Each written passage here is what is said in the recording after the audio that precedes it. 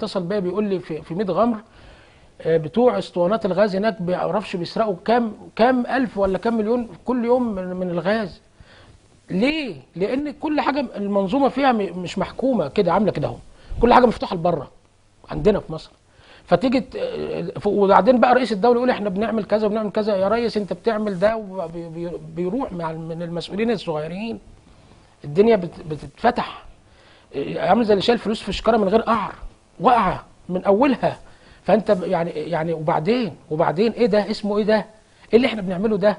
فأنت لازم تقوم جاي عامل حاصر الكلام ده. تلاقي كل جنيه يتحسب كده كل جنيه يتحط ميزانية من الدولة سواء بقى جايباه من من موارد الدولة بيع وشراء واستيراد وتصدير وكلام من ده أو جايبانه ديون من بره أو جايباه ديون خارجية أو سندات أو ايا كان المصدر اللي الميزانية بتتعمل بيه اللي هي أكتر من 900 مليار دي.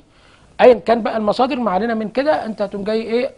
يعني مدخل هذه القيمة بشكل معين وتعرف تحسب كل جنيه راح فين. حقيقي يعني أحمد وصله كذا التاني كذا إسماعيل كذا عز الدين كذا كل واحد وصله كم من هذه الميزانية حقيقي بشكل واضح وم- ومنظم بهذه الطريقة.